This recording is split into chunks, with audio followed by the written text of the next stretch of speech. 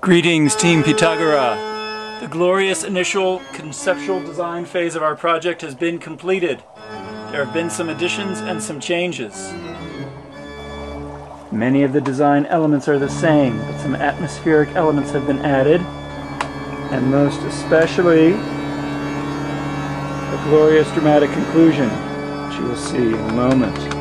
To review, a marble will begin up here, run down the track, around the curve, drop down here into the basket, pull down on the basket, pulling on the string which will dump the tiny glass beads, down here into this cup, which will push up on the release here. There'll be a marble over there at that time.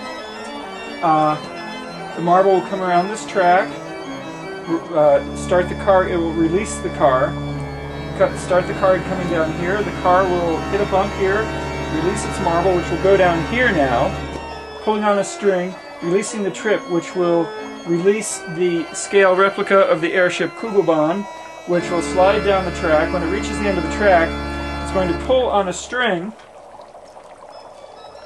The string is connected on this pin, which suspends some Mentos in the top the top of a bottle of soda.